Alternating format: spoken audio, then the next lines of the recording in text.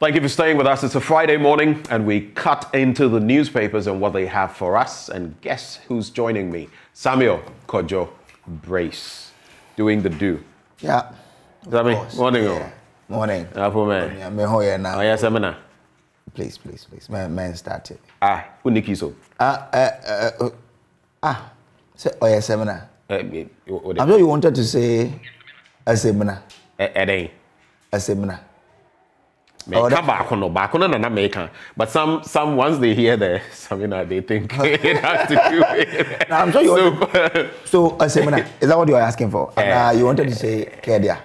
no no no no no not not not your own you know those who say on your seminar or, or you people you also say uh, a hunter we also have the the the way in there Which one? so what, what is the hunter rendition Of what? of what I said I don't even, I didn't even hear what you said. You're just What being you, you're you're just Oh. being unnecessarily eh? why are you being mischievous this morning No, no, no. What, what, I mean, a seminar. In my language, when we say a seminar, it means, what are you saying? A seminar. ah. A seminar. So, like, you say something to me, and I'm like, a how do you say good morning in your language again Memo wahe. Memo ahe. Memo Ah, wahe. Memo ahe. Eh, Or, mema bashe. You know, meba ba, meba, mema be ahe. Mema bashe. Or mema washe and mema wahe. Mm, so if you say, if I want to say good morning to you, I say mema wo ahe. But if I want to say good morning to all of you, mema be ahe. It's beautiful how languages operate and the different changes and all of that. I being, being someone who is fond of languages myself, it's me mo ache no. Good. is Me ma ahe. Mema wo ahe. Good. So our Ache ahe. ahe. Good, good, good. Nkosia, those dynamics. So uh, we say Colombia for egg. Oh, Kosia, Nchefua, Colombia. Colombia. Uh, Hey, so, so ours, the Nzema and Brosa, and our win. Similar. do you speak any Nzema? Yes, a little. So like Kode, Hmm. but uh, uh, Mukosuanu. Mukosuanu means I'm going home in Nzema. A hunter will say Muko. So you're pretty, you're pretty adept with Nzema. It's, it's not a big deal When- compared to the no, no, hunter. No, no, no, no. When you speak, I'll hear everything. But I can. I How can to respond. uh, I can speak some, not all. Right. Like the Nzema person will also hear everything I say, but right. cannot speak it. Kind of like the Ga, the Dangbe Yes, thing. I should think so. Like twin sister language. Right, right. Our- Ours is a sister language to Nzema, Awin, Brosa. Mm. And then there is one tribe in Ivory Coast. I've forgotten their name. Enin. Hmm. So the five languages are similar. Anyway, so uh, very interesting lessons we're getting this morning from the man Samuel Kojo And uh, now that you mentioned the Ivory Coast, you know, a lot of them also, I mean, there are interlinkages. Yeah, yeah, yeah. So, for, for example, Freddie Meiway, you would see that in some of his songs, you would hear. Nzema. Exactly. Because of the, they are very close. Yeah. And Nzema is, my, my, my brothers and sisters will forgive me, but you know, at the point, they are Eh, abroad. Remember to bomb wow. Yeah, abroad was Ivory Coast. So a lot of them are going to Ivory Coast. Yeah, so Please, I dissociate myself totally from these comments. they won't be angry. They You know. can only accuse a certain Samuel Kojo Brace. But on that note, I think he's up to mischief, very mischievous. so let's get into the papers. I have the Daily Graphic, Daily Guide, uh, the Custodian, and the Accra Times. What do you have this morning? Um, I have the Times, the Ghanaian Times. I have the Finder, uh, the Daily Statesman. I have the Republic and the Publisher. Okay, so Republic Press. Right. All right. Um, Let's start with you. Okay, so the Ghanaian Times newspaper says uh, economy will bounce back stronger. That's according to President Akufo-Addo. um, when he was speaking at the Founders Day luncheon, that's where he made the statement. Uh, a bit of uh, details there on this story. Again, we know how difficult things are, have been for the economy. He says that he is optimistic about the country's economic recovery and its future, despite the current challenges the nation is going through. Um, now, the president said the, econo- the, the country's economy would bounce back stronger than ever before. Uh, he said the can-do spirit of Ghanaians, which led to the country's independence from British colonial rule, would guide the government's effort to address the economic challenges. So a bit of uh, some reassurance there that whatever we're going through now, things will take shape, things will be better. Uh, let's see how it, uh, the how for us to get to the better point is what we're looking at. But let's see how it goes. Uh, Ghana records 400,000 tourist arrivals in first quarter of 2022, according to Dr. Awal. Um, 12 die in road crash at Edweje, that's in the Edina Eguafo Yeah. Ebrim municipality. Um, but- so those are the stories. And then ban on new LPG facilities lifted. So those are the stories on the front page of the Ghanaian Times newspaper. I think the the 12 dies is something that uh, the, the MCE is talking tough Yeah. that whoever I think there was a fire which was lit around the road which generated some smoke and I'm told this is the reason why there was poor visibility on the road. He says whoever is culpable will be dealt with according to the law. I, I hope. I hope that happens. You remember the, the case of Ebony, Ebony Reigns, mm-hmm. and how supposedly there was Mm-hmm. Yeah. a pile of mm-hmm. sand mm-hmm. which should not have been Yeah. eating into the road, and in trying to avoid it, you know, these things are often things you would see.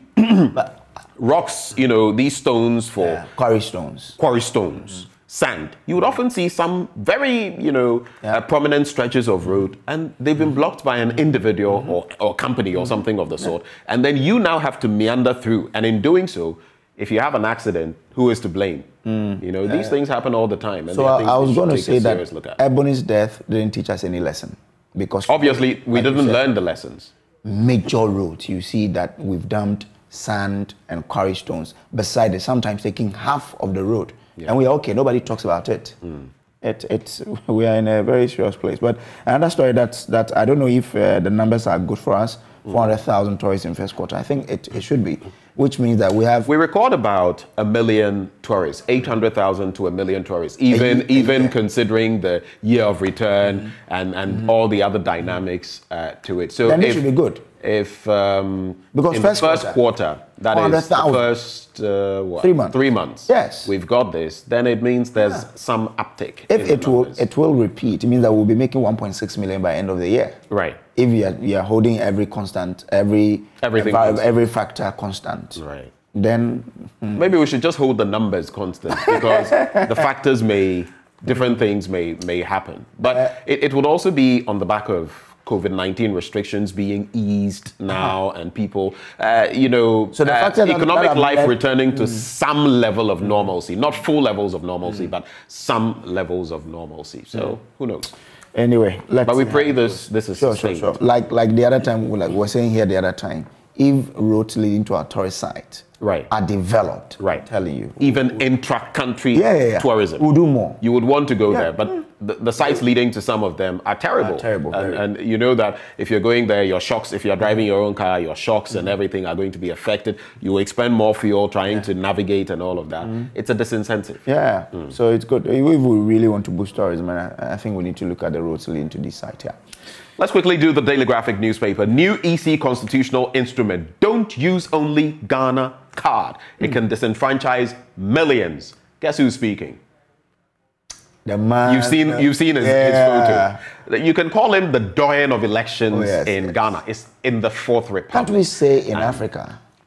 Because his, Well- his expertise was sought for by many well, countries. In, in well, on the you have a point. Yeah. And especially looking at the transition, you know, he actually oversaw a transition Yeah. Back to back. And, Eba- and that was that was that was monumental. Dealing with a situation where Kufuor came and took over, John Agyekum Kufuor. Yeah. came and took over from 2000, and then again At o- Abios. overseeing the exchange from 2008 back Mm. to the NDC. This man, we can't talk elections without him. But what has he been saying? The decision of the Electoral Commission to use the Ghana card as the only source document for continuous voter registration can disenfranchise millions of qualified electorate, a former chairman of the EC, Dr. Kwadwo Afari-Gyan, has stated. He said, with many Ghanaians finding it difficult to get their Ghana cards, making it the only form of identification for voter registration was against electoral inclusivity, fairness, and justice. I'm just going to end with this quote. He says, Ghanaian citizens don't lose their citizenship if they are 18 years or older, but do not have the Ghana card. So the moot question is, why make the Ghana card the only means of identification for purposes of establishing eligibility to register to vote? Very simple question. And um, uh, th- there's talk about that later, CI and all of that. But pertinent questions being raised here by none other, no less a person than Dr. Kwadwo Dr. Afari-Gyan. What, what do you make of this? No, no, I, I, I think that the Ghana card, we have all agreed that it is the, it is where we want to move to, where we all have all our data in In on one place, if you like. Yes. Right. And so if we say we're going to use that, I, I don't have a problem with it. I think the challenge is when are we planning to start this exercise? And what is the assurance from the NIA that almost all or all qualified people will have access to their Ghana card by then? Because I think that we should we, we have to get to a point where we say Ghana card is what we're using to Right. do most of the things. Right. Because look, when we're able to build this system very well, the benefits are huge. And, and, and we agree. I mean, you know, we've had times here mm-hmm. talking together with Berners, mm-hmm. together with you, mm-hmm. about the relevance of this. No one can take that away. I mean, administration in and out, they've tried to do this. The NDC attempted it. I mean, they, they did something, but it did not culminate in what we are seeing now. So it's progressive. But the point is the progressivity or progressiveness of it. We shouldn't rush certain things, especially as the system is not yet what we would That want is why it I am to asking be. the question. So progressively, when when, when are we looking at when are we looking at this Ghana card? Now we are told some I mean- some, some oh, a little over 15 million people have access to the Ghana card. Right. 16 point something million of the cards have been printed. Right. Okay. How many people are per per uh, the, the census we did? How many mm. people are eligible Right. to to register for the voter, vo- Right. voters voters ID? So or to be part of the you know the voter because register. it's not the entire population. Exactly. Right. So if we know the number of people who are expected to be part of the register, and we know how many of such have had their cards given by the NIA, the remainder, what is the plan by the NIA to issue those cards? I, I think And, that and, and it, that's the tricky bit because even in response in a related matter, the same re-registration exercise, uh, Professor Ken Attafuah, the, the CEO of the NIA, mm-hmm. made a a very important point. He says this is a continuous process. We are not mm-hmm. bound by timelines, mm-hmm. and it makes sense. Okay. Looking at the constraints we have faced, looking at the queues we have seen, looking at, I mean, the different dynamics, logistics, accessibility, and all of that. I mean, there are people, for example, who registered for their cards hmm. uh, so so many years ago, and maybe because uh, th- there was a town close to a major city, hmm. they it wasn't you know put into the system correctly that they registered in this town. Rather, it was just the city, maybe Takoradi, hmm. that was put there, but there was a town close to Takoradi, and now. They don't even know where their cards were because their cards went elsewhere. Now it can't be found anywhere. So there are all of those dynamics. But the point to be made is between now and 2024 as well, there are a lot of people who are going to turn 18. Mm-hmm. There are a lot of people who are going to be within that age bracket who would require the Ghana card, which is why in doing any, conducting any such exercise, we must be sure to, in, you know, ensure, uh, repeating that line, mm-hmm. that what Afari-Gyan is, is suggesting here does not happen, that we mm. don't end up disenfranchising anybody. Mm. Already on the back of Saul, the Santro Kofi, Akpafu, uh, Likpe, and Lolobi areas, that dynamic in there, which is a different matter, we have ended up disenfranchising some people. But- but- let's but- not let's not have another situation where, on the back of the Ghana card, someone could be disenfranchised. But do you know that on that score, then we, there can never be a time where we will say that we're going to use only the Ghana card as a, as a source of proving your nationality. which, Because, which is why which is why Dr. Farijan is saying you may maybe since you've not got to that point, Mm-hmm. and we should also have a mechanism in place so that once, for example, you see, I always make the point about the vice president saying from the cradle to the grave, more or less. Mm-hmm. You have the Ghana card, so you are born, you get a number, unique number. When your biometrics are formed, they are taken, then you get your card, and then the process follows from there that we have a sort of rolling system so that if that system works over time, when you turn 18, Mm-hmm. th- there's even no need for anyone to say that the system recognizes you are 18 and you are qualified to vote. But we are not there Mm-hmm. So- yet, so- which so- is why maybe using the Ghana card as the sole document to acquire voting rights is problematic. But you know that from, from now onwards, if we sort of do two national ID cards at a time, then it means that we're still not eliminating the other cards. But why would we need Ghana two? card. Ah, we are putting everything on the, on the Ghana card. You have your voters, you have your passport, you have a driver's license. eh, All of these data is on that that that that, that uh, system and on that card effectively. So why are we saying that okay, we have to use two cards to prove one's nationality? I am thinking if we want to go by by this, Yes, but, we'd but, have to but, wait for but obviously, obviously, before we can. obviously, I am thinking are, that it's people, about it's the processes mm. where the EC and the NIA should agree on, on, on, on a certain line or a certain way of, of handling this, mm. so that the two entities, if I come to register for for the voters mm. and I don't have the the way I'm going to testify my or uh, guarantee my nationality when I'm regist- registering for the Ghana card should be that same process where I can probably say I'm going to uh, testify for my nationality when I'm, I'm registering for the um, EC's vo- voter card. There should there should be a collaboration between the two. Because if we say we are not there yet, we will wait forever for this to work. And I think that we have to all agree to a point where we say we we all, we are all agreeing that let's do with this one card because I, I don't think there's a problem with that. I think mm-hmm. by and large, practically mm-hmm. every Ghanaian mm-hmm. buys into the fact that this card is a good thing and integrating all these other aspects because you can't have a SSNIT card, you're doing both biometrics, you have that card, biometrics, this card, which is what we've been doing. Yeah. So you have one card that is a one size fits all card. That is fine. But ensure that while some people don't have the card, if it comes to any registration exercise for voting, you make access available to them, at least in the interim, because these same people are using other source documents like the Ghana passport. How come you can use that to get your Ghana card, but you can't use that to get your? Well, so it's, so, it's- so those are some of the. So it's, it's a discussion I think we can all have Yeah. and all agree. But I'm saying that the two entities should should collaborate because look, the EC, the voters register, is a huge data we cannot joke with. Hmm. The Ghana card, the National Identification Authority, has all of our data. So there should be a collabor- an effective collaboration between the two entities Hmm. if we want to do away with all of these things. Let's make tracks. In other stories, that uh, head-on collision uh, where 12 people died is also captured on page 20 of the Daily Graphic newspaper. Students loan trust fund to prosecute defaulters. Story on page 13. And another interesting one: National Cathedral Board of Trustees, men of integrity. Prof- uh, Professor Frimpong Manso uh, says uh, so. So the Students' Loan Trust Fund will from September this year begin the prosecution of persons who have defaulted in the repayment of their loans for over a 10-year period. The affected persons will include all who have benefited from the loan but are yet to repay despite being gainfully employed now. I like that addition because I was just about to say, how about if they don't have any gainful means of employment? Mm. The second bit National Cathedral Board of Trustees, Men of Integrity, and the General Superintendent of the Assemblies of God Church, Reverend Professor Paul Frimpong Manso, has charged Christians not to allow political actors to divide their front in their resolve to support uh, the building of the National Cathedral. He stressed that the Board of Trustees was made up of men of integrity and not thieves or criminals, and had committed to the proper use and management of the money dedicated to the building of the I, I. I, I think it- the issue is not about politicians. The issue is about government not being forthright. I think the issue is about Ghanaians. Uh, I, I think that is the point that sometimes is missed. And even no matter how good a policy,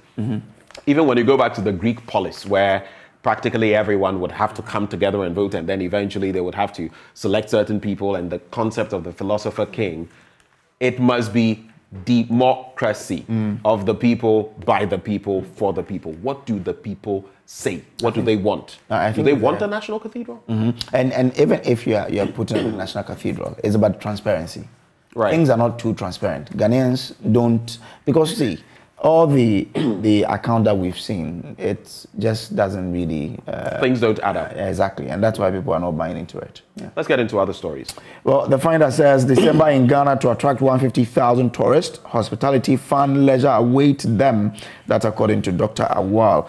And uh, I'm, I'm- myself and my friends are planning to take some people to Takoradi to be part of the Ankos Festival there. So yeah, uh, December in, in Ghana is, is an, is an Yeah. you know extraordinary period in, in our life. So we await some great fun there. Access Bank Ghana records 43% growth in profit before tax. Um, uh, economy will bounce back. That's the story we dealt with. And then uh, this one says NPA left ban on construction of new LPG stations. It, a it is cabinet because they themselves, the NPA, made it clear that they were not the people who played the ban. Right. So it's only the cabinet that can lift it. So it's cabinet that lifted this ban, and that's paving way for more gas stations to be built. Hmm. Hmm. Let's get But into we have, some we have to state that are- these are not like new. These these are not like new stations. No, these were stations that were under construction Exactly. before the ban Exactly. in 2017. Exactly. So if you see that there was, there was, there was a place where there was no gas station, and now because of this, a station is coming, the place you can report anyway. Exactly. Well, the Daily Guide, Africa to become job seekers' destination. That's according to uh, Pastor Mensa Otabil. Uh, man bonks three daughters uh, fined 12,000 Ghana cedis. 13 perish on Cape Coast at Takoradi Road. Uh, The Daily Guide reporting 13. But um, some quick uh, stories that I'd like us to look at. Cedi loses 7% value to dollar. Um, uh, that is in the last month of the third quarter of 2022. This has taken the year to date depreciation to 12, 20.5% on the interbank market. Those are the dynamics. And a very sad, very sad development. Uh, City FM's Bernard Avle loses wife. And um, In fact, it's a very, very sad development if you've not caught, you know, got wind of it yet. Um, details of her sad demise are still sketchy, but widespread reports on Thursday alleged that she died on Wednesday evening. According to the reports, she collapsed, was rushed to a hospital facility, but she couldn't survive. Our condolences to, our sincere condolences to Bernard, Bernardino, as uh, we all call him, uh, to the family, and to the you know the city uh, group for this loss. We commiserate with you. Uh, it's, a, it's a really sad development, really tough times. You know, considering their man- ages and, young and like three that. children in there and all of that. Not anything. You wouldn't wish this even on your worst enemy. oh no, Charlie. Really sad. I met Really sad. him and the wife, eh, I think in 2012 or 13 in UCC. Right. I think he's, he said the wife uh, attended the University of Cape Coast, so they came there. I'm not a- sure of that, but I mean, Uh, well, maybe they, they were there for a program. He was a speaker. and He came there with, with her, and he extolled her really. And I was word is that everywhere he went, he Wow. extolled his wife, her Oh. virtues, and the fact that he was because she was. Kind of like the Ubuntu concept, you know. And uh, we can only pray that Hmm. uh, God will strengthen him together with the family through these very telling times. But, but Charlie. tough, Anyway, yeah, very. really tough. Let's check May, out some may, other may. God really, um, you know, be with him in these trying times. Amen. Now, the Daily Statesman: Police probe bizarre death of couple in Kumasi. Oh yeah, that that very troubling story. I saw you almost shedding tears. Yeah. Yesterday, live on air. Charlie. Joy News Desk. Yeah, the, I mean, listening to the narrative, I was, I was moved hmm. that a mother would have a daughter go and say bye bye to her at the airport, and for five years, that's it. The lady comes back and look at the circumstance. That the, the woman dies, the husband preserves the body in the room, locks the children up in, in, in a room for how many months? Hmm. And just to, you know, empathize with them, feel that you were the one in that situation, how would you have behaved?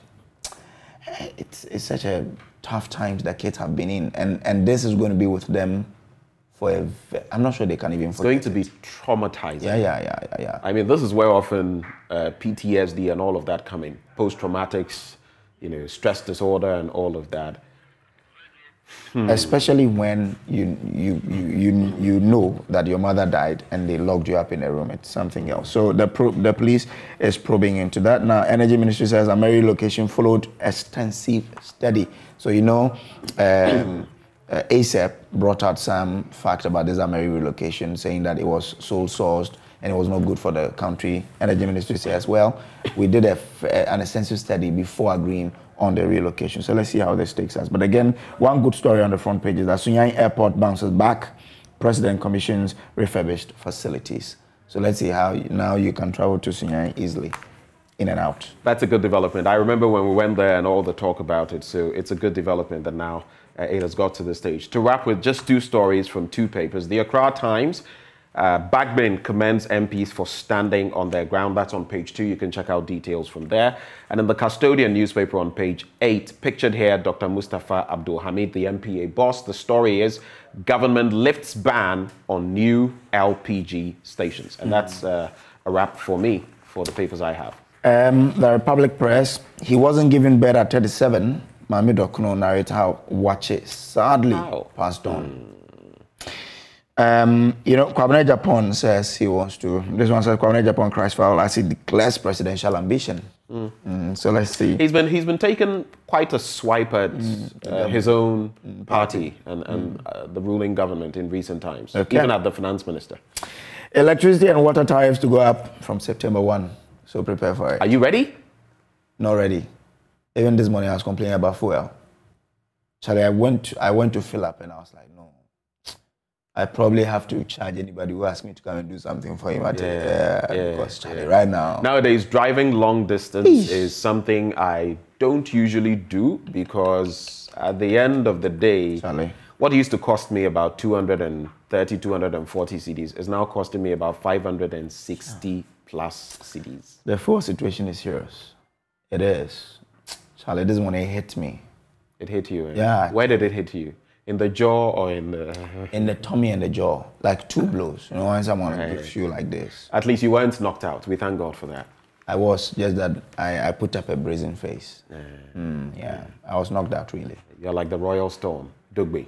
Charlie, yeah. You survived. Yeah, I You took the punches. Your face was a bit, but you, But I'm- I'm you okay. retained your title. Yeah, yeah, yeah, Charlie. Charlie, you know how we do. Yeah. Thanks for joining me. For those of you who did the watching, thanks for joining us as well. Sports is up next. After that, I'll be sharing with you my blunt thoughts today on some call it the resource curse. We have practically everything, but how much are we making out of what we have? And is our royalties system really working for us in Ghana? Stay with us for all of that.